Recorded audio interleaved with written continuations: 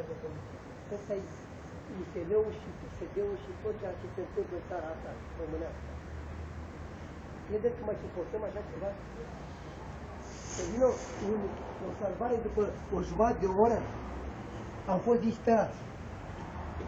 Am vorbit 10 minute, ultimul apel eu am dat.